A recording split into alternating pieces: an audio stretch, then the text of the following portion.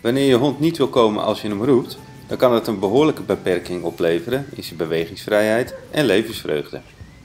En dat is jammer, want het is relatief eenvoudig op te lossen. Tao! Tao, kom! Tao, kom! Kom maar jongen! Tao! En dat lossen we niet op door maar in het wilde weg je hond te gaan roepen, terwijl hij geen idee heeft wat hij nou eigenlijk moet doen. Of dat hij simpelweg gewoon niet wil komen. Deze hond die lijkt wel doof.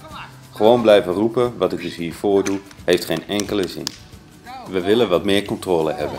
Maar voor je van start gaat, volg dan eerst even onze gratis klikkentraining cursus deel 1, 2 en 3. En start dan met je hond leren komen op commando. Zoals ik al aangaf, wil ik meer controle hebben. En die controle die krijg ik met een supergriplijn van 10 meter lang. Met de supergriplijn van 10 meter lang boots ik zijn vrijheid na, maar op het moment dat ik hem roep, dan heb ik toch de controle en kan ik de hond langzaam en zachtjes naar me toe halen. Op die manier kan ik hem leren dat het altijd leuk is om bij me te komen. Dus hond laten gaan, roepen, klein beetje spanning op de lijn, achteruit lopen, klik en belonen.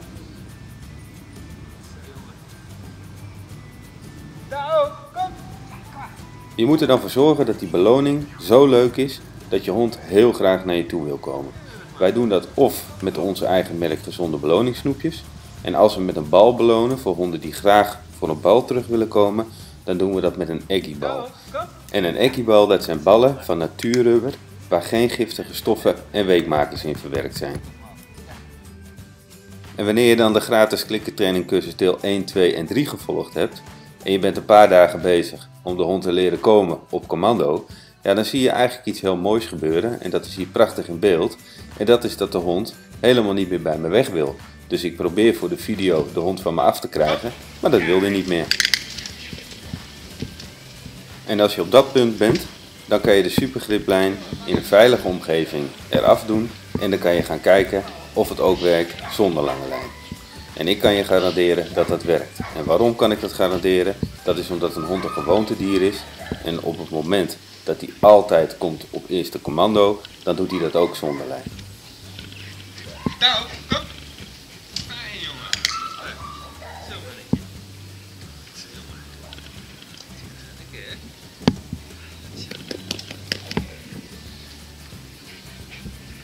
En als je dan op dit punt bent, dat je hond eigenlijk alleen maar aandacht voor jou heeft en altijd komt op het moment dat je hem roept, ja, dan wordt het tijd om wat meer prikkels toe te gaan voegen. Maar dan, dan doen we voor de zekerheid de 10 meter lijn er weer aan.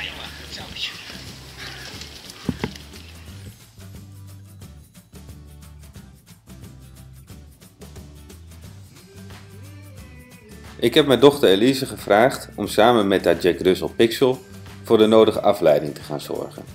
En dat doet ze door rustig langs het trainingsveld te lopen.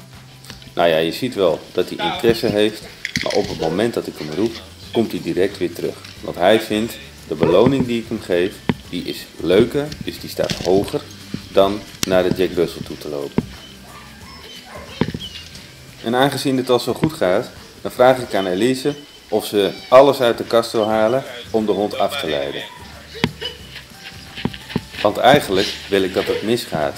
Want op het moment dat de hond in de fout gaat en zich niet terug laat roepen, dan kan ik hem daarop corrigeren. En dan leert de hond. Dan leert de hond pas echt.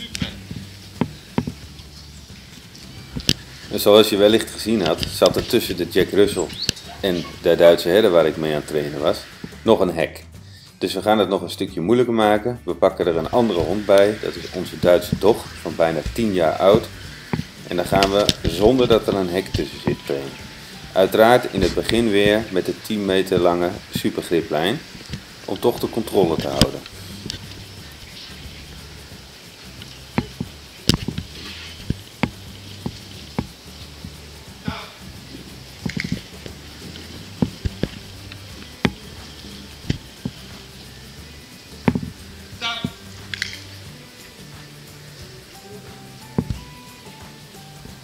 En ook dit, dit gaat heel erg goed.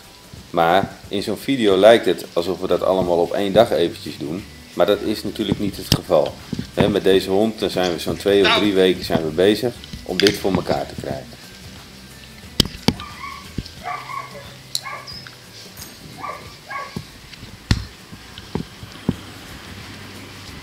En als je er dan 100% vertrouwen in hebt dat het goed gaat, dan doe je de lijn eraf. Maar doe dat echt alleen op het moment dat je voor jezelf zeker weet dat het goed gaat. Want onzekerheid, dat kan wel eens je grootste vuilkuil zijn. Want op het moment dat jij onzeker bent, dan gaat het mis. Honden voelen dat feilloos aan.